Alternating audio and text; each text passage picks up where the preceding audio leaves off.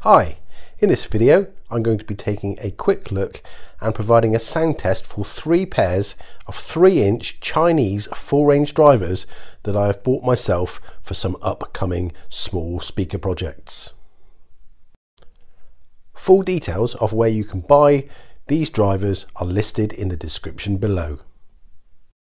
To be honest, I've chosen these drivers mainly for cosmetic reasons, as all three give a certain different look which I hope will make interesting builds in the near future. I've taken measurements and provided the TS parameters of all three drivers for you using the Dayton Audio DATS V3 system. Although all three drivers appear identical build-wise with only the cones and caps differing, there are surprisingly quite a few differences in the parameters measured. Please do let me know your thoughts when you have listened to the sound test and I will try to reply to any of your comments.